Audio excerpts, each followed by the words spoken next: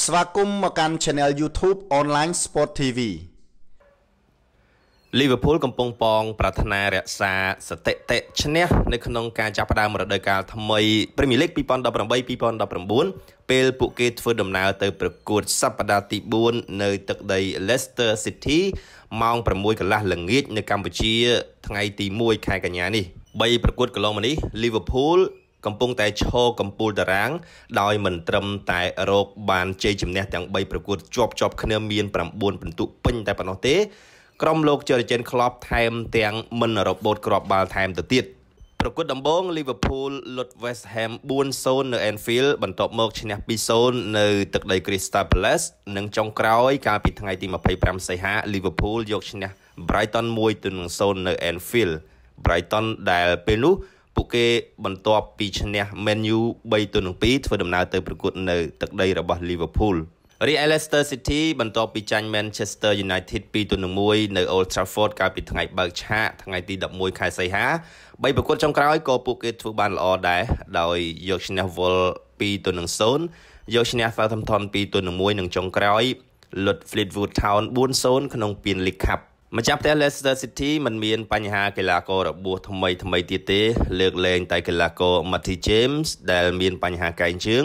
និងខ្សែប្រយុទ្ធ Jamie Vardy ដែលទើបតែប្រកាសចូលនិវត្តន៍ពីក្រុមជម្រើសជាតិអង់គ្លេសមិនអាចចូលលេងបានយប់នេះទេដោយសារតែជាប់បំរាមបន្ទាប់ពីរងពិន័យកាតក្រហមសប្តាហ៍មុន Liverpool ក៏កំពុងតែពេញខ្លាំងដែរហើយគ្មានបញ្ហាកីឡាករអ្វីទេជំរឿស11អ្នកដំបូងក៏ទំនងជាមិនមានការផ្លាស់ប្ដូរអ្វីដែរសម្រាប់ការប្រកួត Premier League សប្តាហ៍ទី4ល្ងាចនេះកីឡាករអវត្តមានសម្រាប់ Liverpool រដូវកាលថ្មីនេះនៅតែជាមុខដដែលដដែលទេគឺខ្សែកាពីកណ្ដាល Croat Dejan Lovren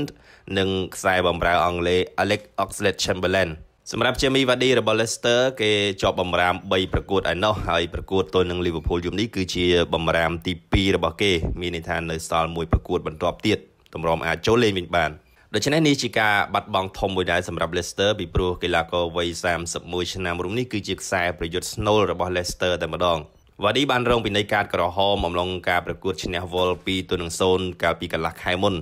ហើយដៃគូរបស់គេប្រមាណរដូវកាលកន្លងមកនេះគឺ Riyad Mahrez ក៏បានចាក់ចេញទៅចូលរួម Manchester City បាត់ដែរក្នុងរដូវក្តៅឆ្នាំ2018នេះសម្រាប់ Liverpool ថ្មីថ្មីនេះលោក Jurgen Klopp បានបញ្ជាក់ថាអ្នកចាំទីជម្រើសជាតិ Belgique Simon Mignolet ដែលដំបូងឡើងជាដៃទី1របស់ Liverpool ក្រោយផ្លាស់មកពី Sunderland នៅតែជាកីឡាករដៃទី2របស់ក្លឹបនិងនៅចង់នៅជាមួយនឹង Liverpool ជាបន្តទៀតបើទោះបីជាជាដៃបំរុងរបស់ Alisson Becker ក៏ដោយហើយលោក Klopp បាននិយាយថា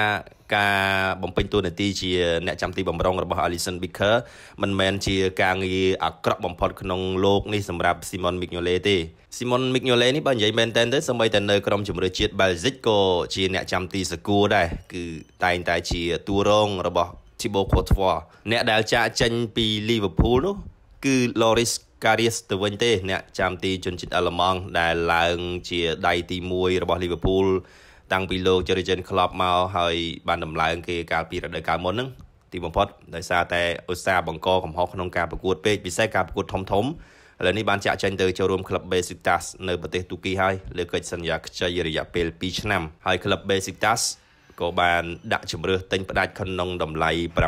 7.25លានផោនដែរបើសិនជាគេបង្ហាញសមត្ថភាពល្អសម្រាប់ក្លឹបទូគីមួយនេះពិសេសនៅក្នុងពានរង្វាន់ទ្វីបអឺរ៉ុបសម្រាប់ Leicester វិញខ្សែការពារទូគី Gagla Soyuncu នៅតែទន្ទឹងរង់ចាំការបង្ហាញខ្លួនជាលើកដំបូងសម្រាប់ Leicester នៅឡើយបន្ទាប់ពីផ្លាស់មកពី Freiburg នៅក្នុងរដូវក្តៅឆ្នាំ2018នេះសម្រាប់ Liverpool ប្រធានក្រុម Jordan Henderson ត្រូវបានលោកក្លប់ដាក់ឲ្យអង្គុយកៅអីបំរុង3ប្រកួតកន្លងមកនេះជាប់ជាប់គ្នាតែម្ដងមិនទាន់បានចូលលេងក្នុងជំរឿស11អ្នកដំបូងទេខណៈកន្លងមកគេគឺជាខ្សែបំរើកណ្ដាលបាត់មុខមិនបានរបស់ Liverpool តែរដូវកាលនេះមានកីឡាករល្អៗមកបន្ថែមទៀតដូចជា Naby Keita អីជាដើមធ្វើឲ្យការប្រកួតប្រជែងនៅតំបន់បំរើរបស់ Liverpool នឹងកាន់តែតានតឹងខណៈដែល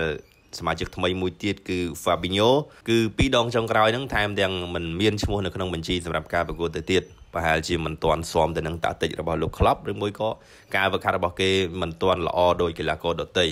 ខាងក្រោមនេះជាការពិតគួរចាប់អារម្មណ៍មួយចំនួនរវាង Leicester និង Liverpool ក្នុងការជួបគ្នាទល់នឹង Liverpool 4ដងចុងក្រោយ នៅក្នុងផ្ទះខ្លួនឯង Leicester City ឈ្នះដល់ទៅ3ដងថ្មីបើពួកគេចាញ់ម្ដងក្នុងចំណោម4ដងក្នុងផ្ទះចុងក្រោយហ្នឹងគឺចាញ់3ទៅនឹង2កាលពីរដូវកាលមុននៅក្នុងក្របខ័ណ្ឌ Premier League នេះតែម្ដងសម្រាប់ Liverpool ការប៉ះជាមួយនឹង Leicester 12ដងចុងក្រោយក្នុងក្របខ័ណ្ឌ Premier League Liverpool ឈ្នះ8ដងក្រៅពីនេះគឺចាញ់2ដងនិងស្មើ2ដងតែ3រដូវកាលចុងក្រោយ Liverpool ទៅប្រកួតនៅទឹកដី Leicester គឺចាញ់ចំនួន2ដងចាញ់កាលពីខែកុម្ភៈ2017 3-1និងចាញ់កាលពីខែកុម្ភៈឆ្នាំ2016 2-0ដែរនៅទឹកដីរបស់ Leicester តែមានស្ថិតិមួយទៀត Leicester នៅពេលប៉ះក្រុមកំពូលតារាង ចំនួន10ប្រកួតចុងក្រោយក្នុងក្របខ័ណ្ឌ Premier League ពួកគេចាញ់រហូតតែម្ដងហើយក្នុងនោះសិតបញ្ចូលទីគូប្រកួតបានតែ4គ្រាប់ទេរវូតវិញដល់ទៅ25គ្រាប់ លីវើពូលធ្លាប់មានកំណត់ត្រាវែងបំផុតនៃការមិនរបូតគ្រាប់បាល់គឺកាលពីឆ្នាំ2005 8ប្រកួតអត់ដាល់របូតគ្រាប់បាល់សោះកាលនោះដឹកនាំដោយលោក Rafael Benitez ដែលបច្ចុប្បន្ននេះកំពុងតែនៅ Newcastle United ដូច្នេះអ្នកចាំទី Alisson Becker អាចក្លាយជាអ្នកចាំទីទី4ក្នុងប្រវត្តិសាស្ត្រក្របខ័ណ្ឌ Premier League ដែលរក្សាទីមិនឲ្យរបូតគ្រាប់បាល់ក្នុងការចាប់ផ្ដើមការប្រកួត4ដងដំបូង បន្ទាប់ពីកីឡាករ Alex Manager ធ្វើបាន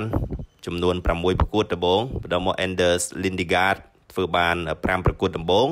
និង Jose Rena ធ្វើបាន4ប្រកួតដំបូងក្នុងការលេងឲ្យក្លឹបថ្មីរៀងៗខ្លួនក្នុងក្របខ័ណ្ឌ Premier League ហើយ Alisson ធ្វើបាន3ប្រកួតរួចហើយសម្រាប់ការលេងឲ្យក្លឹបថ្មីគឺក្លឹប Liverpool នេះដោយម៉ោង6កន្លះល្ងាចនេះការប្រកួតធ្វើឡើងនៅទឹកដី Leicester ហើយ Leicester ក៏មិនមែនជាក្រុមមួយដែលអន់ពេកអីដែរ3ប្រកួតកន្លងមកនេះឈ្នះ2ចាញ់1អញ្ចឹងសម្រាប់ក្រុម Liverpool Online Sports TV គិតថា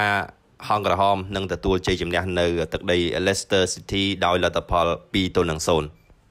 អរគុណចំពោះការទស្សនានិងស្ដាប់របស់លោកអ្នកសូមជួយ Subscribe Channel YouTube របស់យើងខ្ញុំ Online Sport TV